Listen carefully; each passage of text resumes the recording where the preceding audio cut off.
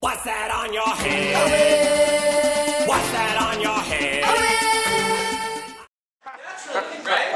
Okay, so um, we're going to get uh, Robbie and Ben back, and they are going to act out The Backwards Door, of the Pakistani movie that's been just widely acclaimed. And since it's in Pakistani, uh, Jessica and I will be translating for you. Uh, are you guys ready? Yes. Hong Hei Na. Hey man, what's up?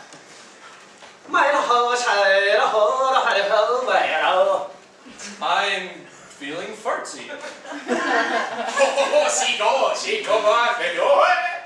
you see what I have done with this door. I have installed it backwards, my friend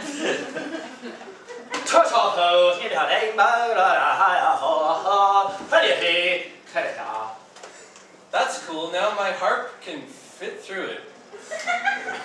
Shoo ha ha, say ha ha ha. Oh, no, no, Yes, I do enjoy when you play the harp. It sounds wonderful. Well, here, hello, what a horror. Ring. Thanks.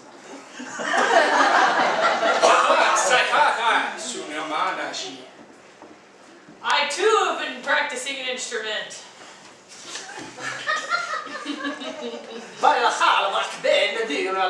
And you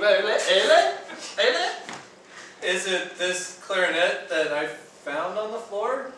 With your fingerprints on it? Actually, yes. I've played clarinet for many years, and I can't believe that I left it laying on the ground so foolishly. Hello, Payne. Hello, well, weird things can happen with a backwards door.